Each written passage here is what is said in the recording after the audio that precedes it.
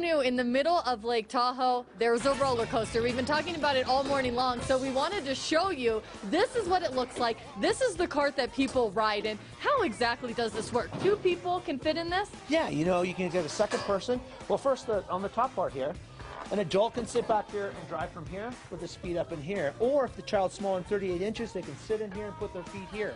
We have two brakes right here on either side by pushing this forward. This is how you engage it to stop.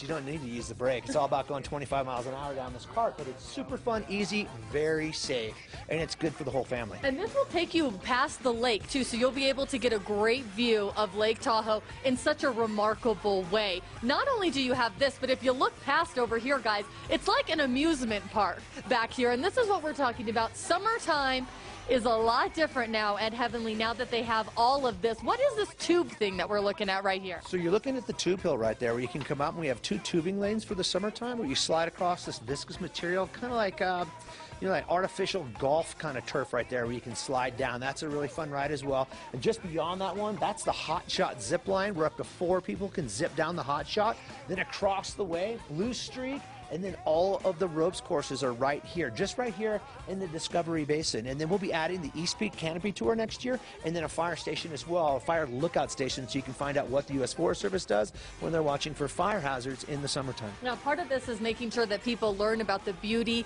and the nature that's up here in Lake Tahoe so we can make sure that we are keeping this uh, preserved and we are taking good care of it out here. And also plans to have live music out here during summer as well. You cannot beat this weather right What now. A hot nice spot. little cool down Yeah. out here. Who would have known that uh, Cambi's warmer than we are in Sacramento this I morning? know, hard to believe. That is incredible, though. The views that you can catch Yes. from that only, and that only probably. And you say you're a little nervous, but I've Yeah. done those kind of alpine Okay. slides before. You can totally control the speed of the cart. Knowing that, would you try it? You could I might try it. I would want. have to look at the elevation and just kind of what it looked like to know for sure. But being able to control it is good because Yeah. then you can take the kids and you know make it a family thing. So that's kind of fun. Absolutely. Very